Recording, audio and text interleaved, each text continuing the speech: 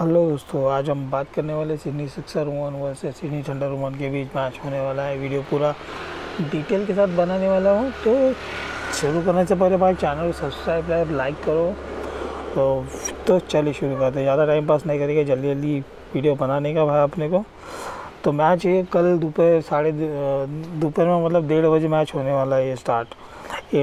Blacktown international sport park Sydney में match होने वाला है। तो ये यहाँ के बीच स्पिन फ्रेंडली है तो यहाँ पे स्पिनर को ज़्यादा विकेट मिलता है तो ज़्यादा से ज़्यादा स्पिनर अपने टीम में रखना भाई। और यहाँ पे वन टी वन टेन से वन फिफ्टी के आसपास यहाँ पे स्कोर हो सकता है, वहाँ पे क्लाउडी वेदर है, बारिश के चांसेस नहीं तो मैच पूरा होने वाला है। हेड टू हेड की बात करें तो यहाँ भाई तेरह मैच खेले अभी तक दोनों टीमों ने आपस में, उसमें से सात मैच सिडनी सिक्सर वुमन जीती है और छः मैच सिडनी टंडर वुमन जीती है। यहाँ पे बैट फ़र्स्ट करते हुए सिडनी सिक्सर वुमन ने छः मैच जीते और बैट सेकंड करते हुए एक ही मैच जीता है। वही सिडनी थंडर की बात करें तो एक भी मैच जीता नहीं इन्होंने बैट का फ़र्स्ट करते हुए। बैट सेकंड में इन्होंने छः मैच जीते हैं। और अभी पॉइंट टेबल की बात करें तो यहाँ पे सिडनी सिक्सर ने पाँच मैच खेल के एक मैच लॉस किया है। पाँच ऑन किए, एक पाँच ऑन किए, एक एक लॉस किया खाली। और सिडनी थंडर वुमन ने एक ही ऑन किया और चार लॉस किया और दो नो रिज़ल्ट रहे। तो बुरी हालत में अभी तक अभी सिडनी थंडर वुमन। प्लेयर की बात करें तो एमी सिडनी थंडर की वुमन की बात करेंगे। एमी जोन्स लास्ट मैच में अच्छे फॉर्म में आई थी भाई, बढ़िया फॉर्म में नहीं बोल सकते, बट खेल सकती है। लास्ट मैच में थर्टी एट किया था, उससे पहले ट्वेंटी फोर तो अभी रिदम में आ रही है तो बढ़िया को स्कोर कर सकती है। उसके बाद लीच फ़ील्ड बढ़िया फॉर्म में हुआ है, दो फिफ्टी मारे इसने अभी तक। और लास्ट वो लास्ट मैच में नाइन्टी किया था। रेचल एंस ये आउट ऑफ़ फॉर्म है भाई द हंड्रेड टूर्नामेंट से ये फॉर्म में आउट ऑफ़ फॉर्म है तो कुछ बड़ा ना कुछ खेल ही नहीं है। ग्रैंड लीग में सी कर सकते हैं उसको। उसके बाद लियो राइट ये भी बढ़िया प्लेयर है भाई ग्रैंड लीग की प्लेयर है प्लस और भी करती है कभी, अभी कभी कभी तो बोल नहीं सकते, ये भी लियो राइट भी ग्रैंड लीग की पी है बैटिंग से भी इसने 41 किया और एक विकेट लिया है इसने लास्ट मैच में।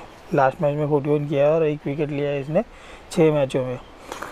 उसके बाद क्लोरी ट्रॉयन साउथ अफ्रीका के बहुत बड़े प्लेयर है भाई, पर इसको अच्छे से ये टीम मुझे नहीं लग रहा कि यूज़ कर रही है। बॉलिंग भी बढ़िया करती है।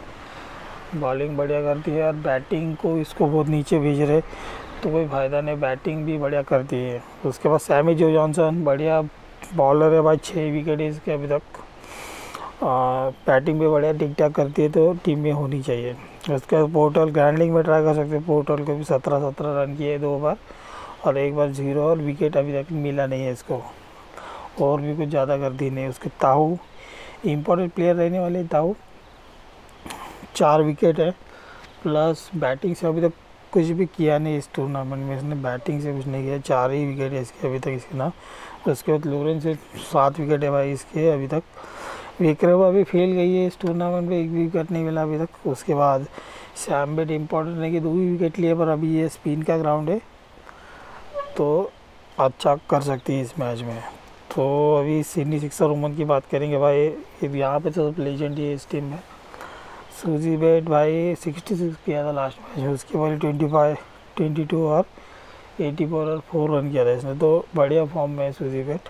उसके बाद हेली ने सेवेंटी एट किया था लास्ट मैच में, अच्छे फॉर्म में लग रही थी। तो ट्राई कर सकते हो। उसके बाद ग्रैंड लीग गार्डनर अभी ऊपर आ रही है वन डाउन आ रही है बैटिंग करने को तो इम्पोर्टेंट रहेगी चार ओवर भी करेगी। सी बी बी सी की बढ़िया बढ़िया चॉइस है। एरिन बर्न एरिन बर्न की बात करें तो एरिन बर्न ग्रैंड लीग में ट्राई करो और ले रहे हो तो सी बी बी सी करो इसको, नहीं तो टीम में लो लो ही मत।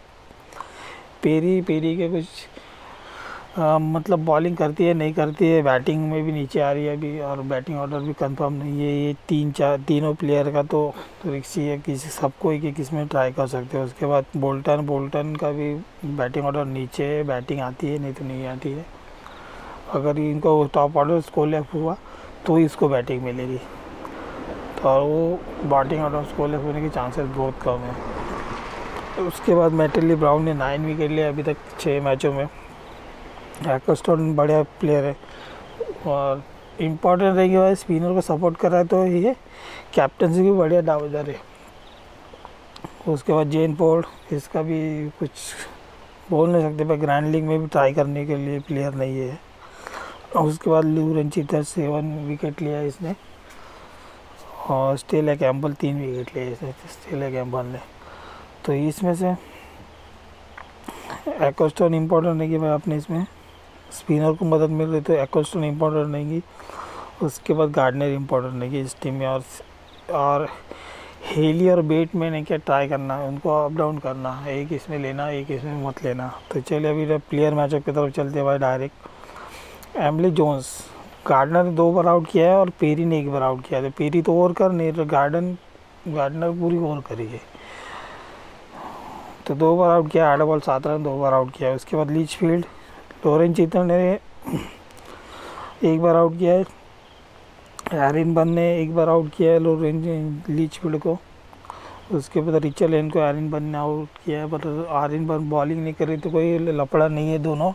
अच्छा करती हुई दिख सकती है उसके क्लोरी ट्रॉयन। एकस्टर ने तीन बार आउट किया है इसको बाईस बॉल, उन्नीस रन, तीन बार आउट किया है। सेमी जो जॉनसन को लूरेन चेतन ने एक बार आउट किया है। तो ये हो गया सीनियर थंडर वुमन के जो टॉप प्लेयर है, उनके बारे में। Amy Jones Litchfield Rachel Haynes Chloe Tryon और सेमी जे जॉनसन और राडिक का भी कोई स्ट्रगल नहीं है किसी के सामने। एक एक बार आउट किया उसके बाद हेली हेली का देखो ताऊ ने पाँच बार आउट किया भाई। हेली को पाँच बार आउट किया ताऊ ने।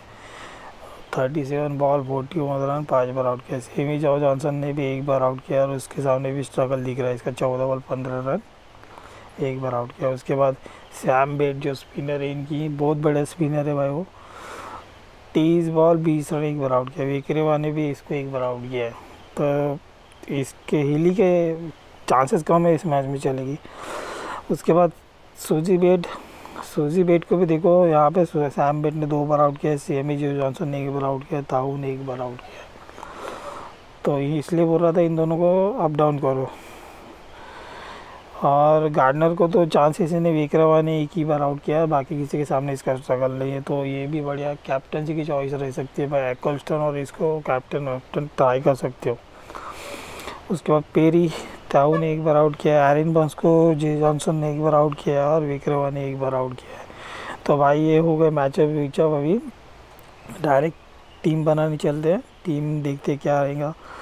तो अभी अब आपके पास एमी जोन्स है और हेली मैथ्यू है एशली हेली सॉरी दोनों का क्रेडिट सेम है तो किसी को ग्रैंड लीग में ट्राई करना है तो जो लेना है ले सकते हो भाई, अपनी चॉइस है। अभी मैं एमी जोन्स को ले रहा हूँ। उसके बाद गार्डनर को ले रहा हूँ। लीच फ़ील्ड एक इम्पोर्टेंट है प्लेयर और यहाँ से मैं सूजी बेट और रोहित रेंज को अप डाउन करूँगा। दोनों टीम में। अभी सूजी बेट के साथ जा रहा हूँ कि फॉर्म के हिसाब से। यहाँ पर मैं क्लोरी ट्राई को ट्राई करूँगा क्योंकि स्पिनर है भाई। विकेट ले सकती है। ब्राउन को भी ब्राउन को ट्राई करूँगा क्योंकि चार ओवर करेगी ही करेगी अपने। पेरी को नहीं कर रहा सेमी जी जॉन्स को बैटिंग के हिसाब से ले रहा हूँ। तो ये रहेंगे इसमें से। और एक्स्टोन इम्पोर्टेंट है अपने पास। सैम मेड भी इम्पोर्टेंट और लूरेंस स्मिथ को भी इम्पोर्टेंट है। मैं स्पिनर के हिसाब से ले रहा हूँ टीम तीन स्पिनर एक्स्टोन इतने में ही टीम बनेगी भाई और अगर कैप्टन की बात करें तो गार्डनर कैप्टन की तो बढ़िया चॉइस है और ये एक है। और ग्रैंड लीग में जाना है तो भाई क्लोरी टाइम को कैप्टन बनाओ। लूरेन स्मिथ और सैम बेटी दोनों में से एक को सी वी वी सी करो। ग्रैंड लीग में। बाकी मैं पूरा डिटेल के साथ बाद में और जो भी कुछ टास्क के बाद जो कुछ भी अपडेट हो, उसके हिसाब से मैं टीम दूँगा। तो टेलीग्राम चैनल पे आपको मिलेगी तो टेलीग्राम चैनल ज्वाइन करो डिस्क्रिप्शन में लिंक है। और कमेंट सेक्शन में भी पिन करके रख दूँगा। तो वहाँ से आप टेलीग्राम चैनल ज्वाइन करो, वहाँ पे आपको सब अपडेट मिलेगी। तो बाय दोस्तों, सबको गुड लक मैच के लिए टाटा बाय बाय